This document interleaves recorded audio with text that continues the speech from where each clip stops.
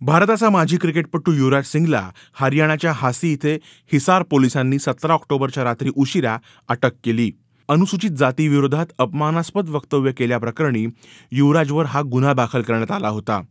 गेल्या वर्षी क्रिकेटपटू रोहित शर्मासोबत लाईव्ह चॅटमध्ये युजवेंद्र चहल या भारतीय क्रिकेटपटूवर अनुसूचित जातीबद्दल अपमानास्पद वक्तव्य केल्याचा आरोप युवराजवर आहे.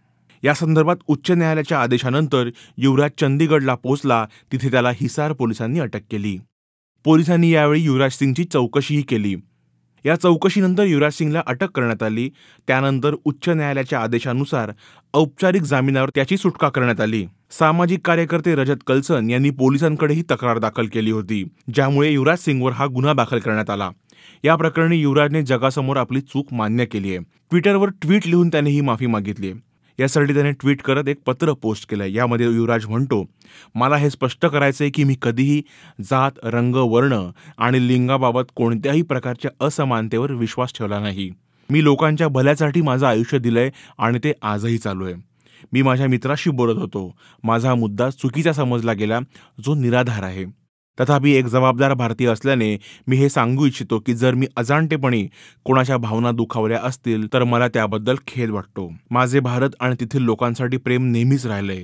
युवराज सिंगनं युजवेंद्र चहलला उद्देशून बोलताना भंगी या शब्दाचा वापर केला होता. एकेकाळी हा शब्द मैला वाहून नेणाऱ्या विशिष्ट जातीच्या व्यक्तींसाठी कथित उच्चवर्णीयांकडून वापरला जायचा. त्या समोरच्या व्यक्तीचा अपमान करण्याची भावना असायची.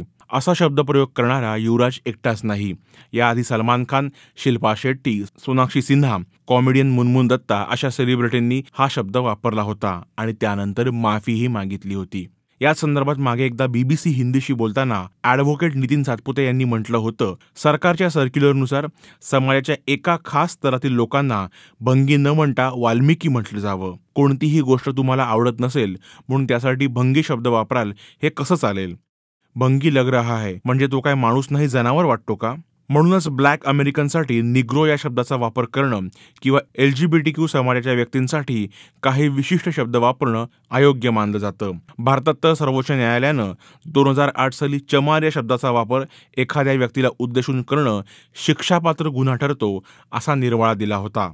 दोन हजार सतरा साली दिल्ली हायकोर्टानं दिलेल्या निर्णयानुसार सोशल मीडियावर अगदी प्रायव्हेट ग्रुपमध्येही असे शब्द वापरणं गुन्हा ठरतो. S C S T prevention of atrocities कायद्यानुसार अशा काही शब्दांचा उल्लेख एखाद्या व्यक्तीला उद्देशून करणं हा गुन्हा ठरतो आणि त्यासाठी शिक्षाही होऊ शकते.